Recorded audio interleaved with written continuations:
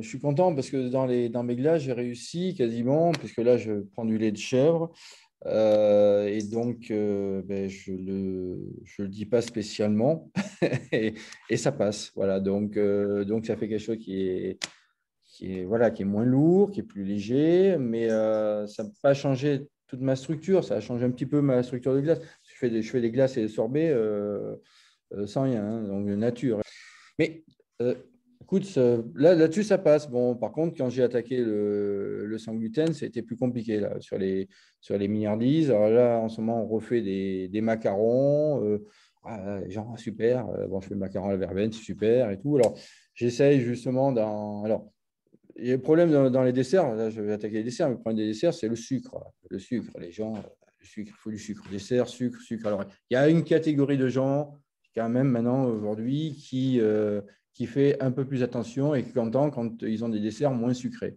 Nous, on essaie de faire des desserts moins sucrés. Voilà. Donc déjà, on n'utilise que on n'utilise pas de sucre blanc, on utilise vraiment que du sucre, euh, du sucre roux, et puis le, vrai, hein, voilà. Donc, euh, et là, euh, on sucre moins ça, et on arrive un petit peu, mais c'est pas encore la majorité. En fait, on, on essaye d'éduquer. On, on parle toujours d'éducation. Il faut rééduquer les gens. Moi, je vois sur un chocolat, j'utilise un chocolat cru, par exemple. Euh, donc, c'est un chocolat qui n'est pas torréfié, donc il a un goût un peu différent. Ça, et, donc, j'ai rééduqué les gens parce que je voulais euh, voilà, vendre, vendre, mon chocolat cru, leur dire voilà, le chocolat cru, c'est un chocolat euh, différent, c'est bien. enfin, pour ma part, je trouve que c'est bien. je vais vous faire tester ce chocolat. Et j'ai réussi, réussi, mais il faut y aller vraiment par étapes, avec des, j'ai des clients qui des habitués, donc j'arrive à leur dire voilà, aujourd'hui j'ai fait ça, j'ai fait ça comme ça, comme ça, comme ça, voilà. J'ai, remis dans ma cuisine, euh, enfin remis, c'est dommage de dire ça, l'amertume, alors que l'amertume, on la trouve euh, assez régulièrement et on la cache souvent. Euh, et donc, j'en ai remis un petit peu, puisque je sucre moins, je sale moins. Donc, je travaille des plantes, il y a beaucoup d'amertume. Et j'ai réussi à la, faire passer. Mais il faut trouver le, bon degré. Mais petit à petit, j'arrive quand même ouais, ouais, à imposer, ma, cuisine. J'y arrive.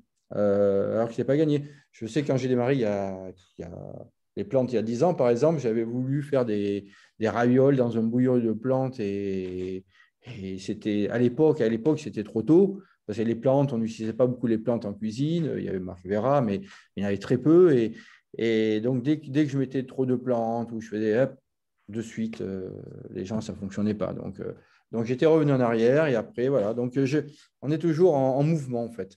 En mouvement, bon, ce qu'il faut, faut penser, ben, il faut penser euh, voilà, santé, locale, euh, essayer de trouver les bonnes associations, essayer de, voilà, moins de sucre, moins de sel, comme je répète souvent. Euh, euh, voilà, essayer de faire une cuisine qui soit meilleure pour le client, mais qui reste gourmande. C'est un métier qui devient difficile, hein, cuisinier, parce qu'il faut cocher toutes les cases, hein, comme tu viens de le dire, Hervé. Il y a des réalités, c'est-à-dire que manger trop de sel, on sait que ce n'est pas bien. Euh, manger trop de sucre, on sait qu'aujourd'hui, il y a du diabète de type 2 euh, pour les, entre les 15-30 ans, alors qu'avant, c'était réservé aux plus de 65 ans. Euh, dans les produits qui soient bio, vegan ou machin, il y a plein de produits qui sont ultra transformés, vegan et bio, et c'est même pire que les produits. J'en ai encore fait encore deux, trois émissions là. il, y a de la, il y a du sucre, du, sirop dextrose dans la mayonnaise bio. C'est juste aberrant. Donc, ce n'est pas un critère, ce n'est pas un, label. On peut jouer sur les textures aussi quand, quand Hervé parlait du sucre. Je voudrais juste dire un petit mot là-dessus. Euh, euh, par exemple, quand vous mangez une orange, vous n'allez pas rajouter par-dessus du sucre parce qu'une orange est déjà naturellement sucrée. Une poire, c'est pareil. Et, euh, et, on peut des fois, par des textures plus moelleuses, plus onctueuses, parce que le sucre a un côté très réconfortant, très régressif. Et par exemple, on a eu la, j'ai eu la chance de collaborer donc avec Thierry Marx sur le, les plats de Thomas Pesquet je vais en dire un petit mot parce que c'est un, ça c'est comme un, une amandine aux poires. Donc voilà, c'est ce qu'on appelle de la comfort food. Donc c'est du plaisir hein, que euh, Thomas part avec ces, euh, ces plats-là qui sont réservés, euh, donc entrée, plat, dessert en gros, qui sont réservés que pour certains grands événements, on va dire, dans l'ISS. Et donc j'ai pu collaborer à l'élaboration de ces plats-là. Et ça, par exemple, c'est un, une amandine. Donc c'est comme un 4 quarts, hein, en gros, pour simplifier. Bon, Hervé, tu peux me corriger, mais c'est. Mmh c'est quasiment un 4 quarts. Sauf que bah, on a enlevé presque du sucre. un quart de sucre. Donc, vous avez un trois quarts. Donc là, il y a un problème parce qu'il manque un truc. Parce que, un, euh, les médecins nous ont dit pour l'ESA, donc c'est très surveillé, c'est-à-dire c'est des Nutri-Score, on regarde les taux de tout, euh, il n'y a, pas de... Euh, tout est très, très contrôlé. Hein. Les astronautes sont vraiment des, sportifs de haut niveau, on va dire. et en plus, Thierry, effectivement, travaille depuis longtemps sur le sans sucre et m'avait dit, bah, c'est une opportunité aussi pour montrer qu'on peut faire un gâteau sans sucre.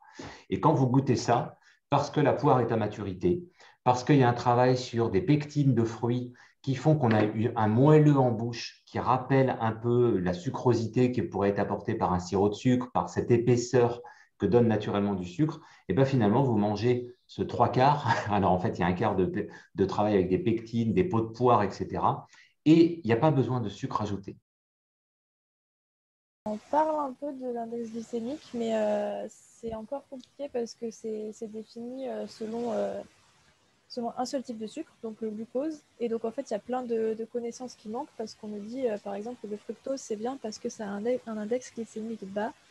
Et finalement, c'est parce qu'on ne se base pas sur ce sucre-là pour le mesurer. Donc tout ça, c'est assez compliqué à expliquer et encore pas, je trouve pas assez de recul là-dessus pour euh, savoir si euh, vraiment l'impact de ces sucres à IG bas il est euh, meilleur sur la santé ou pas. En fait, c'est tout le, problème de, de bah, justement la nutrition, l'impact sur la santé, c'est que même les sources qu'on utilise donc en agroalimentaire, c'est surtout l'ANSES, donc l'Agence nationale de sécurité des aliments, etc., donc, qui, produisent bah, des, des, rapports sur sur les impacts euh, sur la santé des aliments, sur euh, quelles seraient euh, les, les, proportions de nutriments à ingérer par jour pour que on fonctionne bien. Mais, mais finalement, c'est très variable et, et c'est pas du tout figé la nutrition. Donc voilà, il faut recouper les sources, chercher un peu ce qu'on peut. On parlait des effets de mode. Euh, alors, poudre levante, tout le monde s'excite actuellement. Nous aussi, on a été sollicités. Parce que ça y est, même le bicarbonate devient le produit à éviter comme additif. Il faut quand même aussi, là, on parlait d'éducation.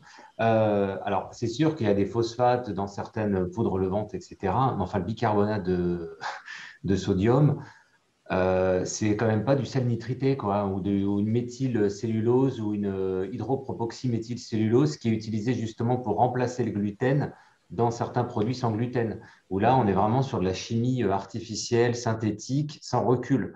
Donc, c'est ça aussi la difficulté, c'est que des, gens comme Cléo sont voilà, dans l'urgence de répondre à d'un coup, ça prend, alors ça vient du marketing, ça vient de machin, peu importe.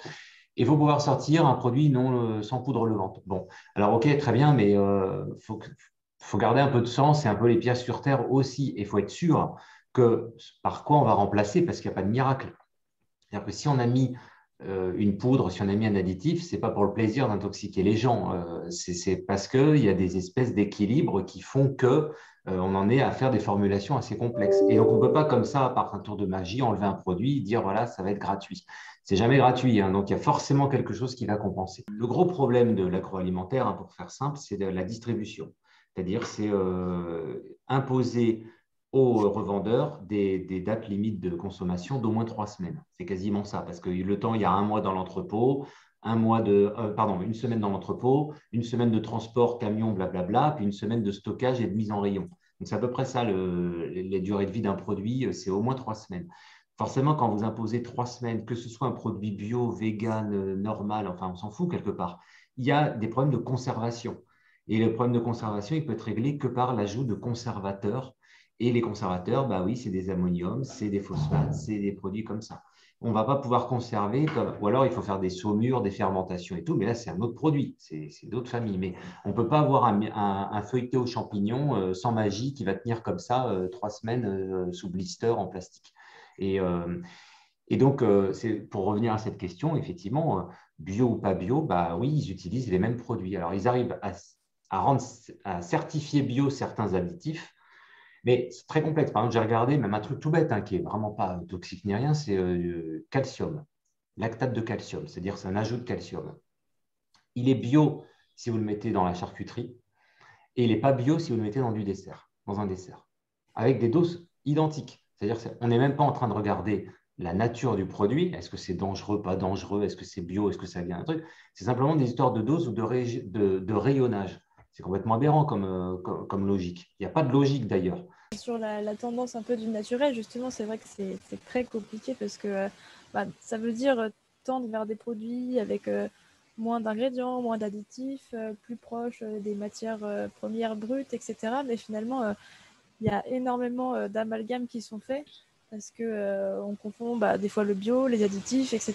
Et, tout le monde s'y perd. Parfois, il y a, y, a des, y a des abus qui ont été faits par le passé, ça c'est clair. Et, euh, et euh, c'est intéressant qu'on essaye de les, les modifier, mais du coup, il y a beaucoup d'incompréhension et justement, ça nous mène à essayer de supprimer des additifs qui ne sont pas néfastes, etc. Alors, moi, je trouve ça intéressant, le défi technologique, mais finalement, l'objectif n'est pas forcément toujours toujours euh, le plus utile. Il faudrait essayer de, de mieux informer sur tout ça. Le gros problème, c'est aussi de faire beaucoup d'argent. Et donc, pour faire de l'argent, euh, la plupart du temps, le premier ingrédient, c'est de l'eau qui est ajoutée. Parce que ça coupe le produit. Ça coûte pas cher. Sauf que l'eau n'a ni texture ni saveur. Donc, on rajoute euh, des saveurs, on rajoute des texturants. Et puis, en plus, bah, comme on a mis de l'eau, on a favorisé la possibilité d'avoir des germes. Donc, on est obligé de mettre des conservateurs. Et donc, c'est le truc sans fin. Et c'est pour ça qu'un cordon bleu avec un joli petit B d'ailleurs euh, en Nutri-Score, à 36 ingrédients, exemple. C'est juste aberrant. Quand on pense que c'est le premier, aliment qui est consommé par les enfants et plébiscité dans les cantines, encore du boulot. Donc c'est ça aussi la, dérive, comme dit Cléo, c'est que justement, il y a eu trop d'eau, trop de produits, trop d'additifs. Donc il faut faire un tour de coup de ménage là-dedans. Et puis, justement, cette course au label, cette course, parce qu'on sait que ça fait vendre, le, Nutri-Score, par exemple, j'ai regardé encore des produits il n'y a pas longtemps. Alors là, ce n'était pas de l'eau comme premier ingrédient, mais pour avoir un Nutri-Score qui passe de C à A dans des biscuits, eh il a fallu augmenter avec des fibres. Parce que c'est bien, parce que dans les tableaux Excel, on rajoute des fibres et hop, c'est magique, le Nutri-Score passe à A. Qu'est-ce qu'on met comme fibres? On met des fibres type maltodextrine, cyclodextrine ou inuline pure c'est-à-dire des dérivés plus ou moins euh, extraits synthétiques. Et en fait, après, les gens, bah, ils ont des problèmes de syndrome de, de l'intestin euh, fragile. Euh, ils ont des ballonnements alors qu'ils ont mangé, parce qu'ils mangent deux gâteaux secs au chocolat. Et puis, en fait, c'est comme s'ils avaient mangé un demi-artichaut. Parce qu'il y a eu des fibres de rajouter comme ça. Et on n'est pas capable d'assimiler toutes ces molécules isolées des produits. C'est ça qui est dangereux, c'est le côté fragmenter les produits pour après les mettre comme ça, un peu par touche mais il faut manger un fruit ou un légume dans sa matrice, c'est-à-dire c'est un ensemble d'équilibre. Le fructose pur est dangereux quelque part, le glucose pur est dangereux. Par contre, un fruit qui contient un mélange, un équilibre fructose-glucose en équilibre avec des fibres, alors là, ça marche. Mais dès qu'on isole les produits et qu'on joue aux petits chimistes comme ça en faisant de, je ne vais pas dire note à note, mais des, petites touches comme ça, bah là, c'est dangereux ne pas se fier forcément non plus à Yuka ou je sais pas quoi. Enfin, Nutri-Score, Yuka, Siga et tout, c'est bien, mais euh, c'est pas, faut pas unique. Il faut croiser des données et coupler les informations. Nutri-Score ne regarde que les protéines, les glucides, les machins et pas le nombre d'additifs. Hmm. Nova ne regarde que les additifs et pas le profil euh, nutritionnel. Yuka, on ne sait pas trop des fois quel algorithme est derrière qui vous dit la danette elle est meilleure que le Yoplait. Euh, peut-être, mais sur quels critères vous, vous donnez ça? Donnez-moi, moi, quand moi je suis prof, hein, quand je, à mes étudiants, je donne un barème. Ça, ce sera sur tant de points, c'est sur tant de points, c'est très clair. On a, là, il y a une note qui arrive sur un produit, ah, il y a 5 sur 100. Oui, mais c'est quoi le critère? Donc, on ne sait pas. Donc, voilà, donc faire attention à ça et, restons éclairés.